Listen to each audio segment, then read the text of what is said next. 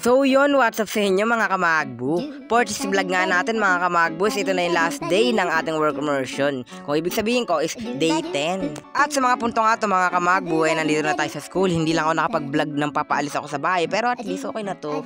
At sa mga punto nga to mga kamagbu, pupunta na tayo Calabrex dahil wala nang papagawa yung sa library. Kaya naman doon na lang kami tutulong, Calabrex. Shoutout nga po pala kay Ian Bergs Cagadas, Jedwin M. Andrada, Igam Marky Ginabia, kay Jericho Tolentino, at marami pang iba. Shoutout na rin po pala kay JP sa Diwa. Grabe ka na dyan, Paul. At kung itatanong nyo nga mga kamagbo kung ano yung gagawin namin dito is nakikita nyo naman, di ba? Hindi, joke.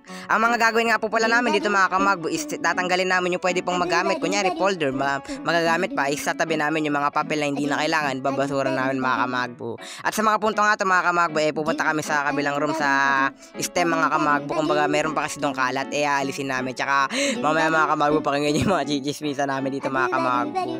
At sumunod nga, nagulat ako dito kay Jedwin mga kamagbo kasi ano, ginulat ako eh, nandun lang siya mga kamagbo kaganina eh. Buisit talaga yun. Kita nyo, nadulas pa ako.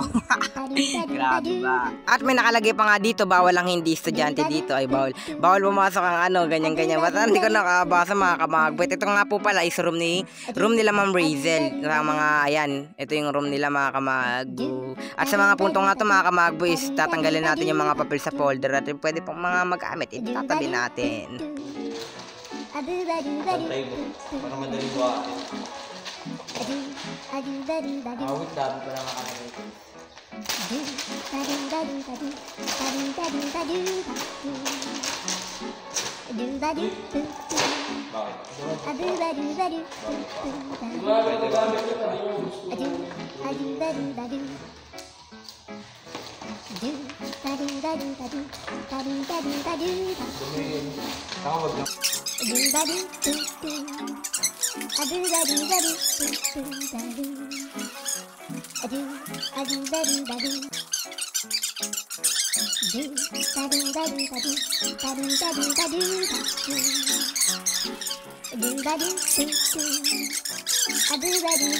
At pagkatapos nga namin maglinis sa kabilang room mga kamagbo sa STEM mga kamagbo, eh, agad naman kami bumalik kung saan kami gumagawa mga kamagbo. At ayan, tamaanin lang natin yung mga papel mga kamagbo, yung mga hindi na mapapakinabangan is tatapon na natin. Sabi nga daw, bibenta namin, pero ox na yun.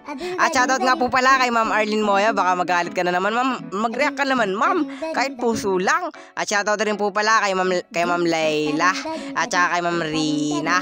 Napaka-solid advisor namin yan. Kung sino man makakaano nyo dyan, mga estudyante, alagaan nyo at respeto nyo yung advisor namin. Dahil napakagaling at napakaganda niyan ni ma'am.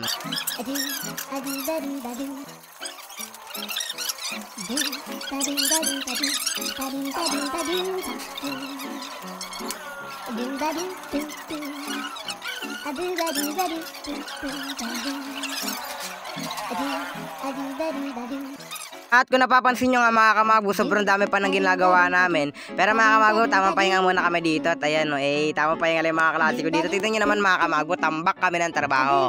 Pero oks lang yan kasi mga kamagbo, di ba nga last day na natin, ho. At sa mga punto nga to mga kamagbo, is ano tayo, sa punta tayo sa kabila mga kamagbo. Ay, magbabayad pala muna ako mga kamagbo sa cashier mga kamagbo. Babayaran ko yung grad yung graduation graduation fee ko mga kamagbo para wala na tayong problema, di ba mga kamagbo. Mga ilang oras nga lang lumipas mga kamagbo, ay nakapagbayad na tayo sa cashier. At ito na yung resibo natin mga kamagbo, 3K, 3K yan mga kamagbo.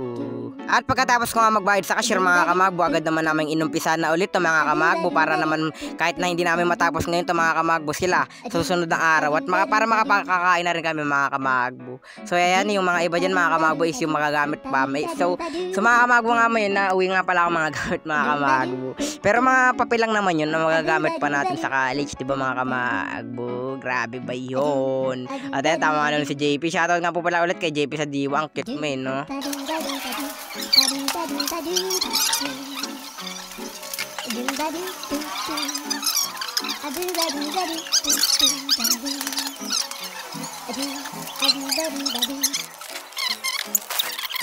At nagulat na nga lang ako mga kamagbo ay binibidyo na pala ako ng aking kaklase dahil vlog daw mga kamagbo. Grabe ba? Solid talaga yung mga suporta ng mga aking kaklase mga kamagbo kahit na small content creator pa lang tayo mga kamagbo. Nararamdaman ko at na-appreciate ko yung pagsusuporta nila sa akin mga kamagbo. Kaya naman pag dumating yung panahon na sumikat at may makantam tayo sa buhay mga kamagbo hindi ko kayo makakalimutan. Baka si Magbo yan. At pagkatapos nga namin mag ano mga kamagbo yung mag ano ng ano. at pagkatapos nga pala namin mga kamagbo ayusin yung mga papel doon pero hindi pa kami tapos mga kamagbo. Eh, agad naman na kami lumabas para naman kumain mga kamagbo. So bibili nga pala muna dito si Ian Brex ng kalderetang baka.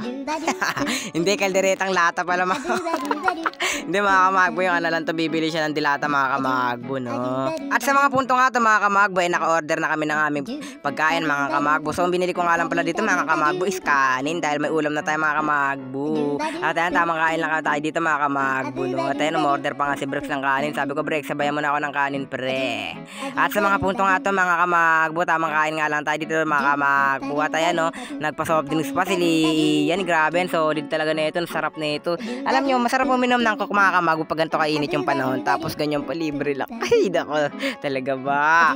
At ayan tara mga kamagbo hindi pa nga kayo kumakain samahan nyo kami pero tapos na kami. Pero bakit ganun? No, 'di ba all goods yan mga kamagbo. Tara na samahan nyo na kasi kami. At pagkatapos nga namin kumain mga kamagbo agad naman na kami bumalik kung saan kami nagtatrabaho. At shoutout nga po pala kay Axial Pinos tsaka kay Atina Velasco. Ay no pak, pak nananapak eh no. Grabe yung mukha eh no. Grabe ka na, Axel. Sabi niya daw siya daw magbablog. At ayan na nga, tamang pakit lang. Kala mo si Vice ganda na, Petra Kabayo. Hinagis pa yung camera ni Magbu. Putak loepon. Pero napaka-solid din ito ni Axel kahit ganito kami magbiruan. Putang ina, ay nako ako nagsasabi sa inyo. Napaka-solid na itong kaibigan mga kamagbo kahit na sabihin nat kahit sabihin niyo na hindi kami madalas magsama niya kahit di kami araw-araw magkasama niya. Pero matalik kong kaibigan since birth. Oh, di ba? Content ka ngayon sa akin, Axel. Nangahampas ka pa. Mm, sige, yari ka sa akin.